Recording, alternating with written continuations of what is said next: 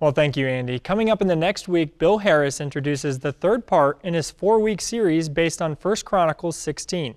Ask yourself this question Do you spend more time doing things for the Lord or spending time with the Lord? While both sides are important in the Christian life, one certainly outweighs the other.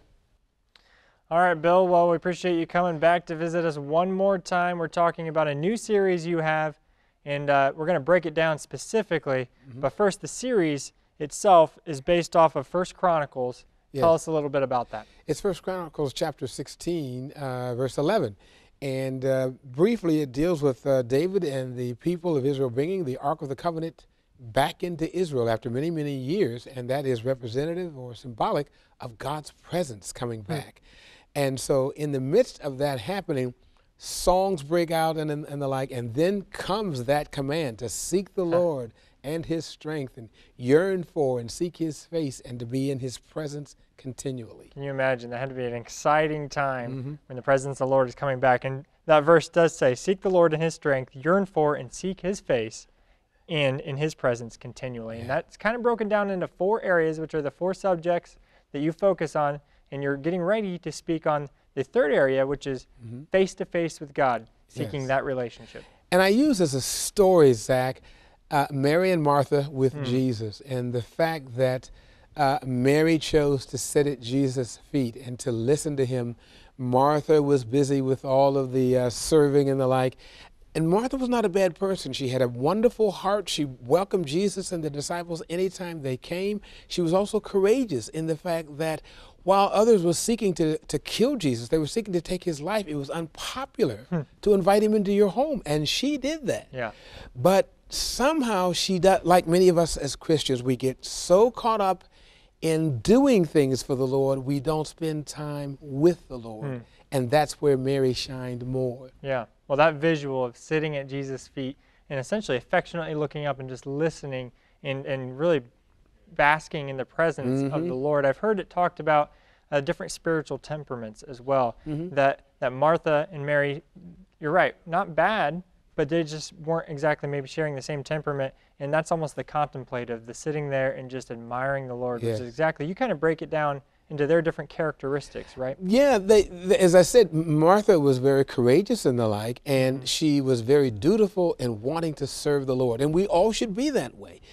The difference with Mary is that if you notice in the scripture, it says, Martha says, she left me. Hmm to go be with you, yeah. Lord. So she had a different perspective. Right. And we have to know that difference when it's time to leave the work and be with the right. Lord Jesus. She had a hunger for him. She hung on every word that he said, and it made all the difference in her life. Right. So you talk about how it's not even really a choice. It's a requirement of yes. us to have this face-to-face yes. relationship. It is, and, it, and it, it, leads up to the, the next sermon that I preach on this. It leads up to the connectedness that we must have with God. It is a requirement. It is a must in order to stay connected with God. We've got to have that one-on-one, face-to-face. Mm-hmm.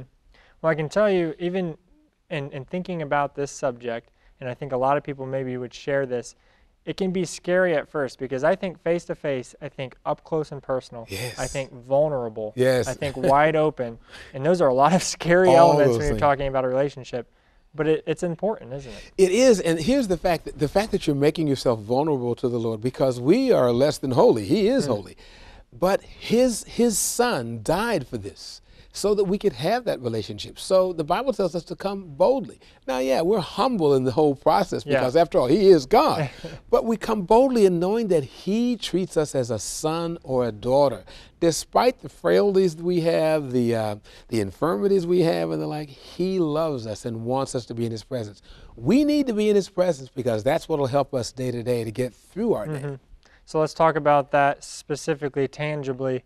Um, maybe we find ourselves being on one side of the equation or the other, Mary or Martha, uh-huh. and maybe it's not our natural inclination to, to just sit there and, and sit at his feet. But how can we do that practically? How can we start to gain that relationship? In, in one part, I think using a good calendar to block out times mm. to be with the Lord, that's one thing.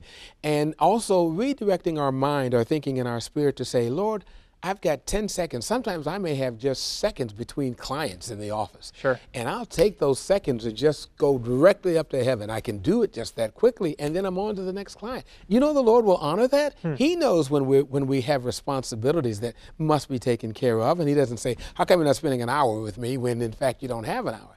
But then there are other times where if we're a morning person, if we get up a little early to spend that time with him, it, it, it, it blesses. If we're a night owl and we spend a little bit of that time at night with him, it blesses us. Sure, sure. And so once we develop that, you mentioned it kind of leads into your, your next topic, which we'll cover here soon.